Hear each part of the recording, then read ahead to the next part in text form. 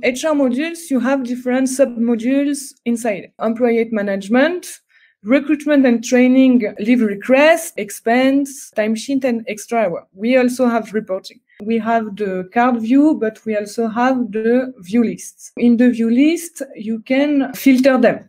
Then what is the most important? you can directly have access to the HR information. If you need to create a new raise contract, you are just choosing, let's say one of your employees changed from part-time job to a full-time job or from temporary contract to permanent contract uh, within your company. You can make the changing here. And you are creating a new contract and everything will be linked to that employees. The configuration panel give you ability to create if you need to uh, create a new product activity, for example, pro project consultant, general manager, you can just uh, create it from here and it will appear on Axelor.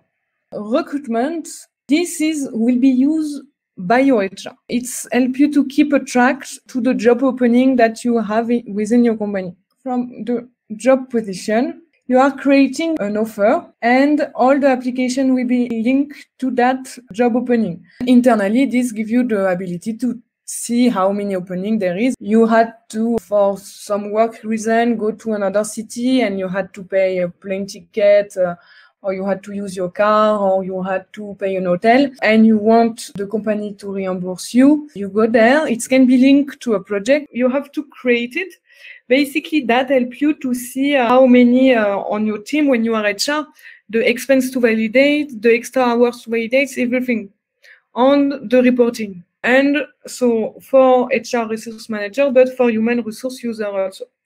So that can be customized.